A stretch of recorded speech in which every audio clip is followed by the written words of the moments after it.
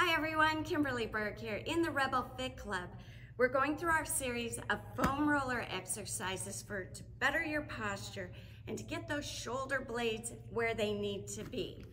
Um, I already have my foam roller anchored down. Um, I have a bath towel and a yoga mat. I show you how to do that in video one. So we're just gonna get started. You're going to go onto the foam roller on your side like I showed you before so that you are laying on the foam roller with your head and tail supported.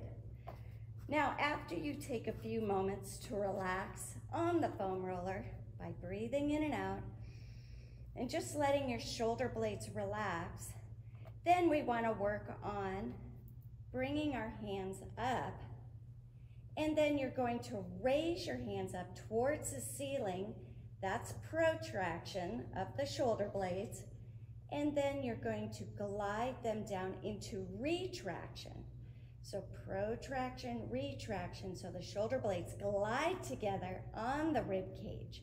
Now, a lot of people think they're doing this by bending their elbows. The key is to keeping your elbows straight, like you're being pulled. Your shoulder blades will actually come off of the foam roller a little bit now they're gonna wrap around. Try to lower those shoulders as much as you can. And at first, this is gonna be really difficult for you. So just keep working on it with your breathing, bringing them up all the way and down.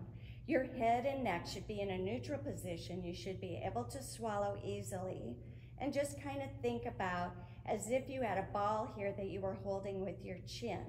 You never want to be back here or off the foam roller with your head.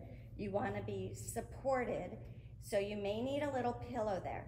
Again, protraction, retraction, back and forth with your breathing. And then to get off, again, we're gonna slither off to the side, use the foam roller to help us get back up. So that is today's quick hit. It will prepare your shoulder blades for some of the other exercises we're gonna do. Guarantee it will help your posture and it's very relaxing. If you like this video, hit the subscribe button, go to our website, rebelfitclub.com, where you can see all of our classes that we offer in the gym, Tai Chi, yoga, boxing, boot camps, whatever you're looking for, I bet we have it. Also, don't forget, we have online, live, not pre-recorded videos that will come to you. We're just a push button away and you can work out with us and get all this goodness in your home.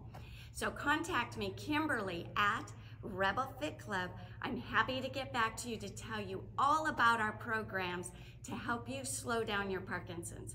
So as always, go forth and conquer.